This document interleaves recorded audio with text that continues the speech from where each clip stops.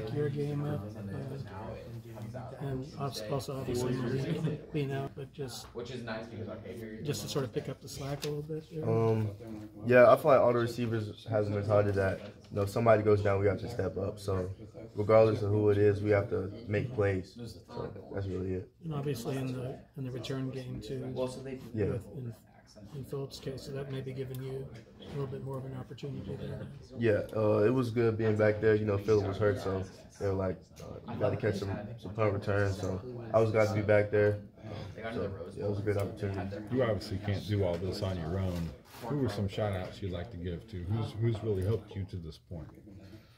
Um, do you mean like on the team or just in general? In general, on the team. Okay, definitely. I'll say my high school coach, Coach Sal. He definitely helped me into the man I am today. Um, taught me hard work and stuff like that. Um, Nelson Agholor, he's a receiver for the Eagles. He went to my high school, and we trained a lot before I came up here. So um, just being with him has helped me a lot because just to see that what it takes to be successful. Um, my family, you know, my uncles and stuff, they trained me when I was little. Um, my mom, my sister, that's really it. So. Are you a guy when you are on punt returns, are you gonna try and fair catch everything rather than just let it bounce? Yeah, I'm gonna try to fair catch everything. You know, if you, if it if it bounces, it could probably go back, and we want to get the best field positions like as possible. So.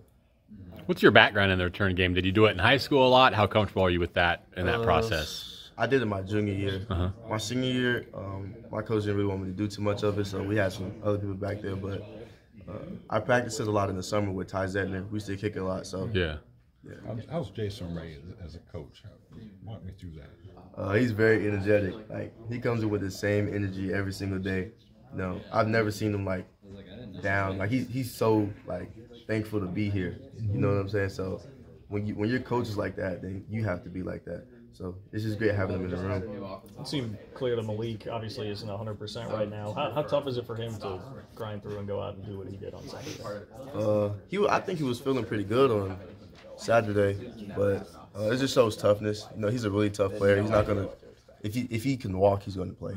You know, he's a tough player, so it's, it's good having him in the room um, because it just it builds all of us up. You know, when your best receiver goes out there and plays, it shows everybody that you know um, we can do the same, stuff like that. Coach brought Keenan Garber's name up the other day. What have you seen from him in practice and, and kind of how he's progressing? Uh, Keenan's doing great.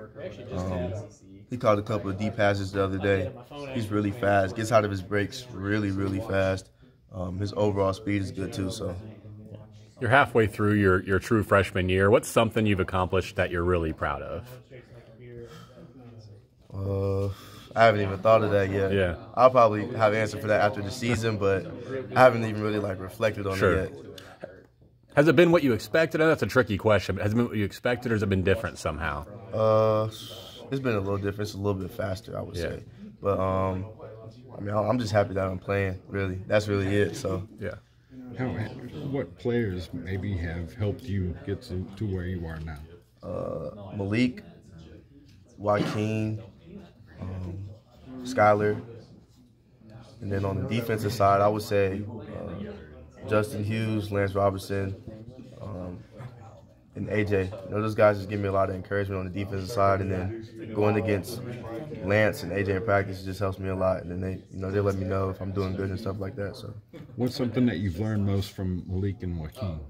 Uh, I would definitely say they help me with routes and they help me with releases, but they also helped me with my mentality. You know, uh, just to be a dog every single play, catch every single pass. There shouldn't if the ball touches your hand, you got to catch it. Ball's in the air, you got to make a play. So uh, having that mentality has helped me. How cool was it for you to be able to, to have that video produced about you and your mom and the game on Saturday? It was really cool. It's a moment that I won't forget for the rest of my life. So uh, I'm just happy that the K State team they, they got it on video. And what what to you were the biggest things that your mom has taught you that you take with you today? hard work, dedication. Um, if you want to be the best, you got to work for it, really. You know, so um, now I love my mom. I'm happy, you know, the way she raised me, just to be humble and stuff like that through everything, through your success. So What was the background of that in terms of did you find out Friday they were going to do it, or what was for, for you? Uh, when did you find out about kind of what K State wanted to do on their end? So they had texted me on Friday. They were like, "Yeah, I heard your mom's coming to the game. Like, uh, you can't cover it, but um, I didn't know they were going to produce a video or nothing. So it was it was a surprise to me. So it was just great having that done. So. When Is that the only game she'd be able to come to this year? Do you know? She she went to the Mississippi State game. Okay. She she had drove up with a lot of my family. Uh, I don't know. This might I don't know. I really don't know. This might be the only game she can come to. When you're getting recruited to a Big 12 school, is this is this one of the games you think about with Oklahoma? Yeah, definitely. Uh, Oklahoma, Texas, those are the, I say the top teams in this league. So um, it's definitely a great recruiting pitch. I think we're going to have some recruits here. Right. So um, it's going to be a great game. Right. When you like grew up, what games did you envision playing in? If it's a big time college game, like could you see yourself playing uh, one of the games? I would say Mississippi State, like, because I grew up watching the SEC on CBS. You know what I'm saying? So right.